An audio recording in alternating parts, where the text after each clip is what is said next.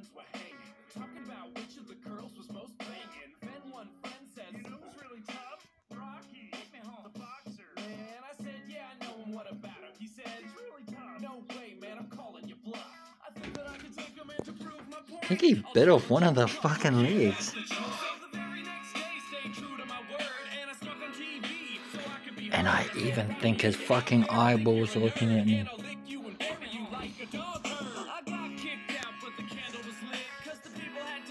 My claim was legit.